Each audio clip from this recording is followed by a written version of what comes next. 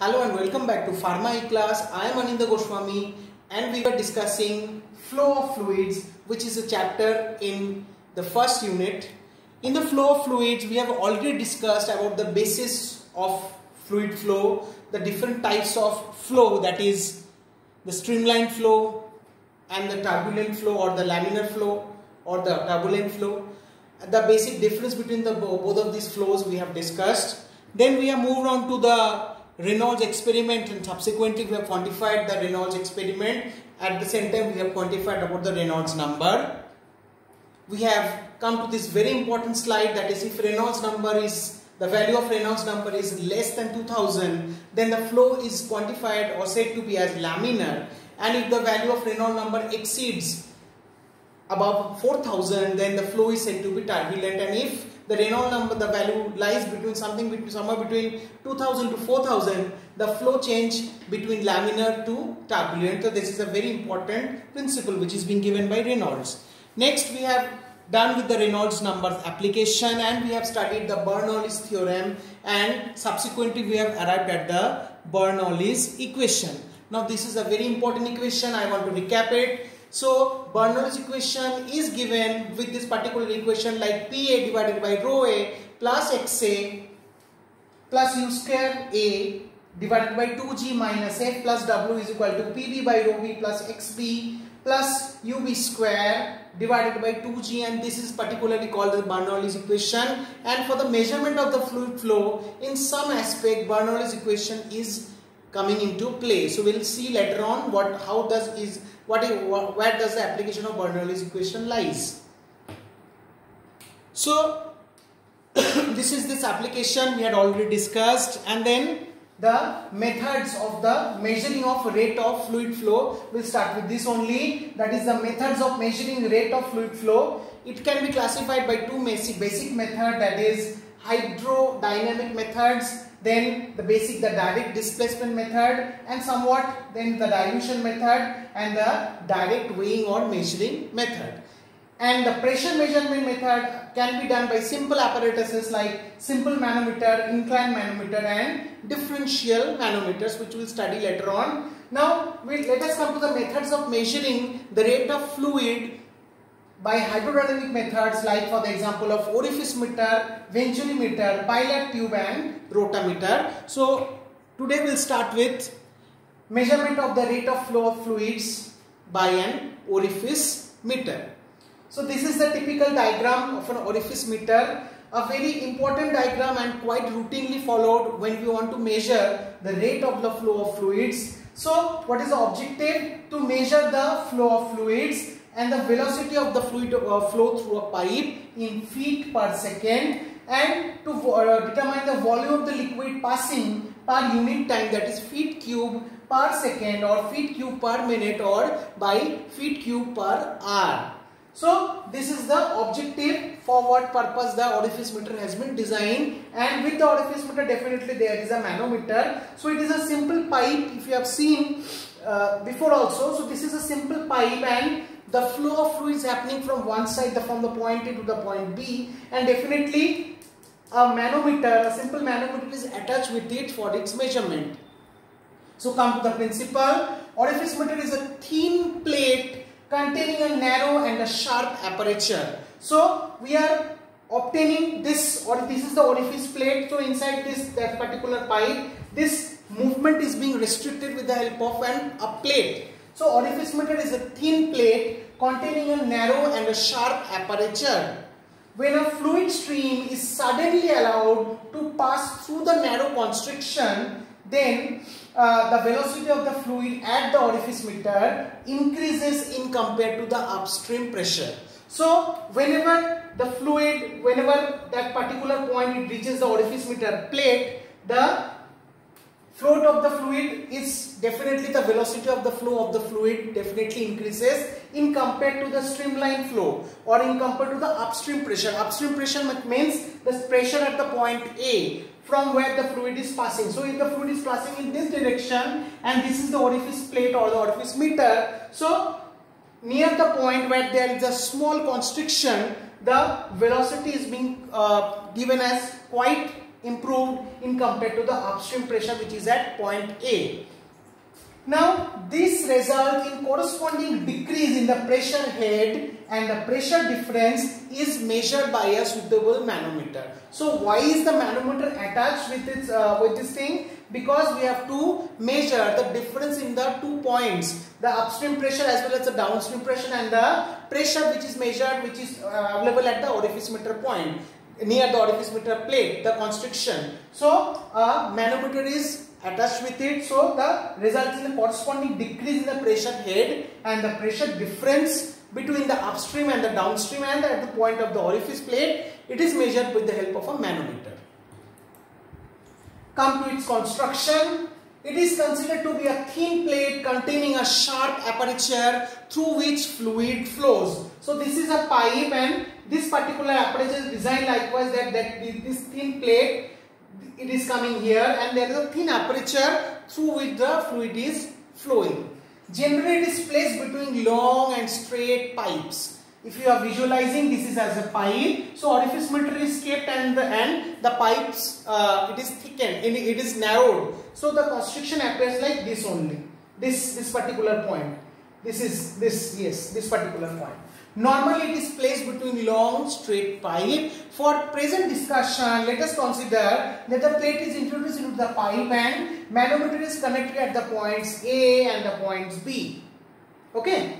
Now working when fluid is allowed to pass through the orifice, the velocity of the fluid at the point B increases and as a result at the point A, pressure will be increased. So when it is the fluid flowing through the orifice with the velocity of the fluid at the point B, this particular point where it is the vena contracta, this particular point, it increases as a result, the pressure at the point A will also be increased.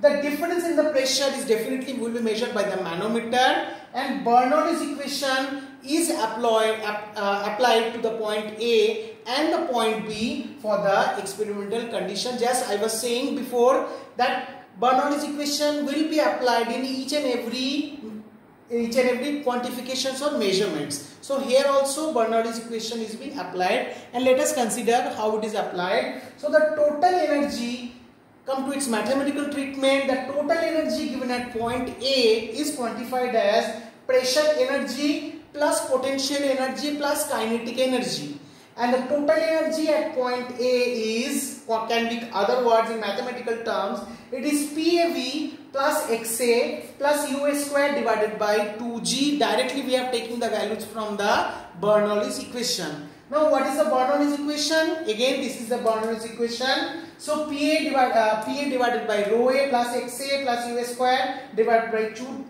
2G minus F plus W is equal to PB by rho B plus xb plus ub square divided by 2g. Now, in this particular case, there are some assumptions are being done. So, come to the assumptions and these assumptions have to be, we have to take into consideration for the, for understanding the mathematical equation behind the orifice meter.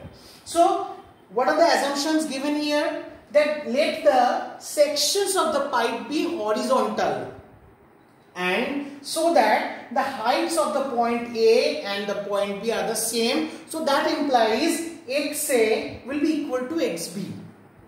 So we'll simplify this equation. We'll put these assumptions in this value.